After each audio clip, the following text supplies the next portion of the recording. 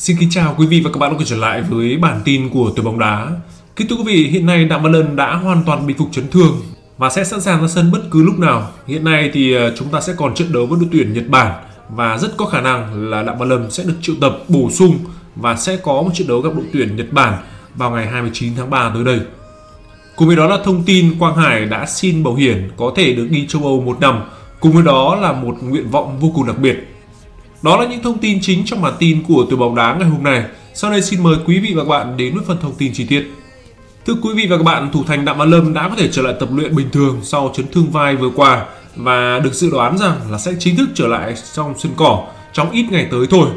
Như chúng ta được biết thì cách đây khoảng 1-2 hôm thì Đặng Văn Lâm đã có một bài viết trên Facebook với một nội dung rằng còn gì vui hơn khi được bay trở lại kèm theo một đoạn video là Văn Lâm tập luyện cùng các huấn luyện viên thủ môn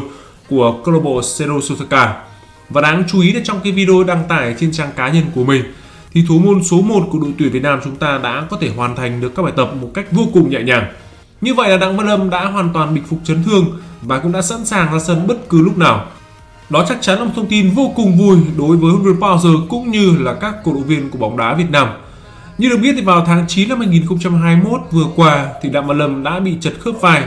uh, trong một tình huống va chạm với một người đồng đội của mình tại câu lạc bộ Serero Osaka và sau đó không lâu thì anh đã phải tiến hành phẫu thuật để có thể chữa trị dứt điểm chấn thương và có thời gian về nhà để nghỉ ngơi trước khi mà quay trở lại Nhật Bản để tiếp tục tập hồi phục. Và trong quãng thời gian vừa qua, trong một quãng thời gian ờ, dưỡng thương thì thủ thành sinh năm 1993 đã phải bỏ lỡ một kỳ AFF 2020 cùng đội tuyển Việt Nam.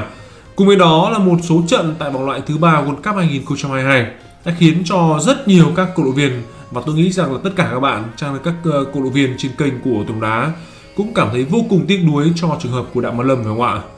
Đặng Văn Lâm thì đã không kịp trở lại đội tuyển Việt Nam để chuẩn bị cho trận đấu với đội tuyển Oman vào ngày 24 tháng 3. Thế nhưng khả năng cực cao là Đặng Văn Lâm sẽ kịp có mặt trong trận đấu với đội tuyển Nhật Bản vào ngày 29 tháng 3 khi mà chúng ta, đoàn quân áo đỏ sẽ có chuyến làm khách tại xứ sở mặt trời mọc ở trận đấu lượt cuối cùng và Đặng Văn Lâm hiện nay thì đang ở Nhật Bản. Và việc triệu tập Đặng Văn Lâm như vậy là rất đơn giản. Đặng Văn Lâm sẽ ở Nhật Bản. Và khi đó thì đội tuyển Việt Nam chúng ta khi bay sang Nhật Bản thì Đặng Văn Lâm sẽ cùng hội quân luôn. Đó là một thông tin và có lẽ là một viễn cảnh rất tuyệt vời dành cho chúng ta hiện nay.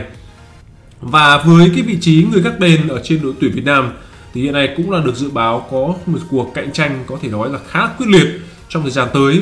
bởi ngoài sự trở lại tuyệt vời của Đặng Văn Lâm, thì hôm nay chúng ta đang có một nguyên mạnh, có một phong độ cực cao trong màu áo của câu lạc bộ Viettel, cũng như là trong màu áo của đội tuyển Việt Nam nữa. Trong khi đó thì Tấn Trường hiện nay thì vẫn có được sự tin tưởng với những kinh nghiệm của mình và đặc biệt là trong thời gian vừa qua, chúng ta thấy được là cái trường hợp của Philip Nguyễn, người hiện nay được cho là sẽ có quốc tịch Việt Nam trong tháng năm tới. Vì vậy mà thực sự là sự cạnh tranh trong khung gỗ của tuyển Việt Nam, toàn những cầu thủ những thủ môn tài năng thôi và đó đương nhiên sẽ mang lại một cái niềm vui lớn dành cho các cổ động viên và đặc biệt đó chính là Ruben Bouncer. Quý vị và bạn có mong chờ sự trở lại của Đặng Văn Lâm trong thời gian tới không ạ? Hãy để lại một like và một bình luận của mình ở phía dưới phần video ngày hôm nay của Tùng nói nhé. Và thông tin tiếp theo là một thông tin mà chúng ta cũng đang rất quan tâm, đó là việc Quang Hải đã có những ý kiến như thế nào về, với bảo hiểm.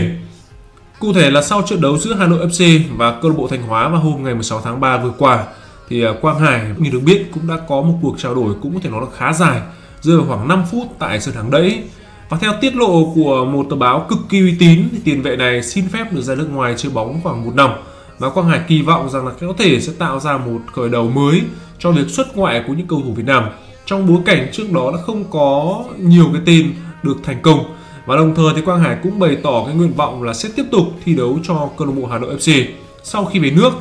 được biết đây là lần đầu tiên Quang Hải trực tiếp trao đổi với Bồ Hiển về tương lai của mình. Trước đó thì chủ tịch của câu lạc bộ Hà Nội FC Đỗ Vinh Quang, một người là con trai Bồ Hiển đã trực tiếp đàm phán với phía Quang Hải về việc là gia hạn hợp đồng. Và theo đánh giá thì Bồ Hiển được cho là người duy nhất có thể tác động đến Quang Hải để cho Quang Hải có thể thay đổi ý định.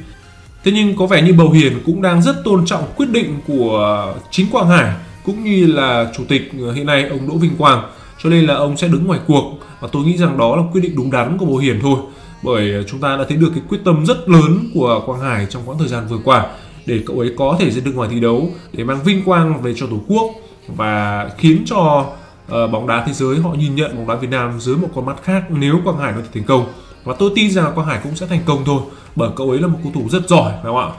À, hiện nay thì hợp đồng giữa Quang Hải và câu lạc bộ Hà Nội FC sẽ hạn vào ngày 12 tháng 4 và người hâm mộ vẫn sẽ còn hai trận đấu để xem Quang Hải. Thi đấu cho câu lạc bộ Hà Nội FC đó là trận đá bù với Viettel vào ngày 4 tháng 4 ờ, tại ờ, vòng 2 V-League 2022 và một trận đấu khác nữa ở cúp quốc gia gặp ờ, câu lạc bộ công an nhân dân vào hôm mùng 7 tháng 4 tới. Và cách đây ít ngày thì người đại diện của Quang Hải cho biết là nếu không ra hợp đồng với câu lạc bộ Hà Nội FC thì Quang Hải gần như chắc chắn là sẽ không thi đấu cho bất cứ một đội bóng nào tại V-League cả trong cái thời điểm này. Và điều này càng thấy được là cái quyết tâm ra nước ngoài thi đấu của Quang Hải là lớn đến như thế nào. Trên thực tế thì tiền vệ sinh năm 1997 đã nhận được rất nhiều những lời đề nghị cực khủng tới từ một vài những câu lạc bộ tại V-League, với mức đãi ngộ thậm chí là hơn 5 tỷ đồng một mùa chỉ tiền lót tay. Tiền lương thì cũng khoảng hai ba trăm triệu đồng một tháng. Tuy nhiên cuối cùng thì Quang Hải cũng đã từ chối tất cả để cho cái quyết định của mình. Đó chính là được ra nước ngoài thi đấu khẳng định bản thân của mình cũng như khẳng định cái năng lực của những cầu thủ Việt Nam. Và tôi nghĩ rằng với thông tin này thì chúng ta càng yêu mến và tôi nghĩ rằng là chúng ta càng ủng hộ hơn nữa cho quyết định có thể nói rằng vô cùng dũng cảm của Quảng Hải, đúng không ạ? Và thông tin cuối cùng thì à, đó là liên quan đến Ruben Passer thì à, qua những lời phát biểu của mình, cũng có thể thấy rằng là hiện nay thầy Park đang rất lo lắng cho những thể trạng của những học trò của mình trước hai trận đấu sắp tới rất lớn tại vòng loại cuối cùng World Cup 2022 và đương nhiên thì những nỗi lo đó là có cơ sở. Thầy hoàn toàn có cơ sở của mình. Chỉ sau ít ngày khi mà đội tuyển Việt Nam tập trung để chuẩn bị cho hai trận đấu cuối cùng của vòng loại World Cup 2022 thì thầy Park đã có rất nhiều những cái phát biểu và đã mang đến khá nhiều những ý kiến trái chiều tới từ các cổ động viên. Đầu tiên thì thầy cũng băn khoăn là cái khoảng thời gian tập trung của đội tuyển Việt Nam thì lại xuất hiện thêm một trận đá bù của câu lạc bộ Hà Nội và Thanh Hóa. Tiếp theo thì thầy cũng cho rằng là nếu Quang Hải ra được ngoài thi bóng thì ờ, rất có thể là cũng ảnh hưởng rất lớn đến lối chơi của đội tuyển Việt Nam. Vì thầy cho rằng là hiện nay thì Quang Hải là một cầu thủ rất khó thể thay thế trong vị trí của anh ấy. Và thầy Park cũng sẽ tham vấn cho Vep về vấn đề này, về câu chuyện hợp đồng của cầu thủ ờ, Quang Hải và có những người thì nói rằng là thầy park phản ứng hư thái quá thế nhưng nếu nhìn vào tình cảnh của đội tuyển Việt Nam chúng ta trong thời điểm hiện tại thì rõ ràng là những lo lắng của huấn luyện viên Park là điều hoàn toàn có cơ sở và chúng ta hoàn toàn có thể thông cảm cho những suy nghĩ của thầy chúng ta nhìn một cái cách mà tuyển thủ cho tập trung trong một trạng thái không lành lặn rồi lại bị trả về trong thời gian vừa qua rất nhiều vì ờ, không thể kịp bình phục chấn thương những bùi tiến dũng những pha văn đức là những trường hợp như vậy nó còn chưa kể là những lựa chọn khác mà Arnold không thể sử dụng được bởi những chấn thương dài dẳng như là Đình Trọng, Văn Hậu hay Duy Mạnh. Rất nhiều những cầu thủ rất giỏi hiện nay đã không thể có thể được tuyển thay bắt buộc là sự thay đổi. Cùng với đó là dịch bệnh Covid-19 cũng căng thẳng khiến cho chúng ta gặp rất nhiều khó khăn. Và vẫn biết rằng vì rất nhiều lý do mà lịch thi đấu của mùa giải này của các câu lạc bộ là quá dày đặc và việc sắp xếp thời gian như thế nào cho hợp lý giữa đội tuyển quốc gia và câu lạc bộ là một điều rất khó dành cho VFF. Pep. Nhưng đương nhiên, với tư cách là một vị ờ, huấn luyện trưởng của đội tuyển quốc gia, thì Park có quyền lo lắng cho những học trò của mình. Đợt tập trung lần này thì huấn Parser đã chào đón khá nhiều những gương mặt mới và sự vắng mặt của những cầu thủ cũ đã trao cơ hội cho những tân binh. Cái này họ đang rất khát khao để thể hiện mình. Thế nhưng đương nhiên thì nó cũng sẽ để lại rất nhiều những cái nghi vấn, những dấu hỏi lớn dành cho những cầu thủ trẻ đó là liệu rằng Hà Thầy Park có tiếp tục mạo hiểm để sử dụng từng đấy những cái vị trí rất mới trên đội tuyển Việt Nam hay không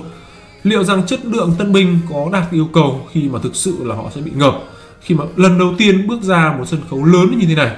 và rất nhiều cầu thủ Trung Quốc vừa qua chúng ta thấy rằng thậm chí họ cũng đã bị ngợp. À, điều đó là điều chúng ta hãy ghi nhớ bởi thực tế là những cầu thủ trẻ có lẽ rằng họ cũng nên được tạo ra những cơ hội nhỏ hơn sau đó một môi trường như thế này. Chúng ta thấy một môi trường ở vòng loại thứ ba nó khắc nghiệt và nó kinh khủng khiếp lắm chứ không phải đơn giản như là vòng loại thứ hai khó khăn hơn rất nhiều. Vì vậy cũng có thể là những lo lắng của thầy là những cầu thủ khi bị ngập và khi mà một người mà bị ngập trong một hoàn cảnh lần đầu tiên được như này thì đương nhiên có thể nó sẽ mang đến những ờ, điều trái ngược, và thậm chí là những rủi ro rất lớn dành cho những cầu thủ. Họ sẽ không có được những sự tự tin. Vì vậy mà thầy lo cho những học trò của mình cũng là điều hoàn toàn dễ hiểu mà thôi. Tương tự đó là câu chuyện về tương lai của Quang Hải. Thì ờ, Hải Con liệu rằng ờ, sẽ có thể thành công ở một môi trường ở giải đấu nước ngoài? Và đặc biệt là Quang Hải cũng có thể sẽ không thể phục vụ cho đội tuyển quốc gia trong những ngày mà không thuộc FIFA đây. Câu trả lời dễ thấy hơn là chúng ta nghĩ ngay cả cái khoảng thời gian đầu Việt Nam uh, đến làm việc thì uh, thầy Park cũng đã nhận xét rằng là người Việt Nam chúng ta chỉ yêu bóng đá. Thế nhưng bóng đá là chiến thắng thì mới yêu thôi. Và chỉ cần một trận đấu không như ý không như kỳ vọng dù ở bất cứ một giải đấu nào đẳng cấp như thế nào kể cả vòng loại thứ ba thì kể cả huấn luyện viên cũng như những cầu thủ sẽ phải đối mặt với một áp lực cực lớn từ từ các cổ động viên. Và cần hiểu rằng là dù đã đạt được rất nhiều những bước tiến đáng kể trong những năm vừa qua thế nhưng suy cho cùng thì chúng ta thực sự vẫn chưa phải là một nền bóng đá có tên tuổi, có số má ở trên đấu trường chủ lục những gì chúng ta chứng kiến đều thấy vì vậy mà nếu chúng ta quá mải mê những mục tiêu quá xa vời mà lại coi thường những giải đấu ao làng như là SEA Games hay là AF Cup thì thực sự đó là điều rất đáng lo. Vấn đề lâu dài là cả đội tuyển và các câu lạc bộ cũng cần phải tìm ra những phương án nhằm giảm tải cho những cầu thủ để họ tránh phải gặp những cái chấn thương hoặc rơi vào những tình trạng đó là chán bóng đá. Còn hiện tại thì sự thấu hiểu và sự cảm thông là điều tốt nhất mà chúng ta, các cầu thủ Việt Nam hiện nay hãy dành cho những cầu thủ và đặc biệt là dành cho Ruben Parser để giảm những áp lực, sự căng thẳng để thầy làm việc một cách trọn vẹn nhất với bóng đá Việt Nam đúng không ạ? Và tới đây thì bản tin của từ bóng đá cũng xin được kết thúc. Xin kính chào và hẹn lại quý vị và các bạn trong những bản tin tiếp theo của từ bóng đá.